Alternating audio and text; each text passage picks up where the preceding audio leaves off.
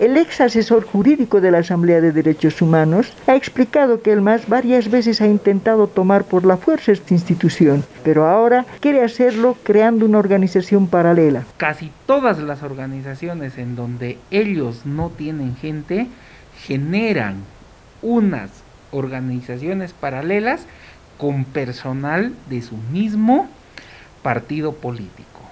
Desde hace tiempo en derechos humanos a la señora Amparo Carvajal han tratado de sacarla.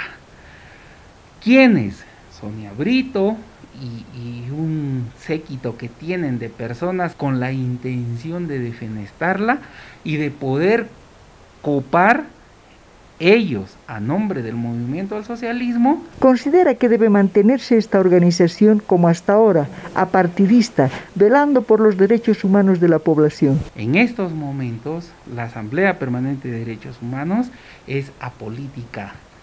Defiende a todas las personas que son vulneradas en sus derechos humanos, sea de izquierda, sea de derecha, venga de donde venga porque ese es el trabajo y ese es el espíritu de derechos humanos.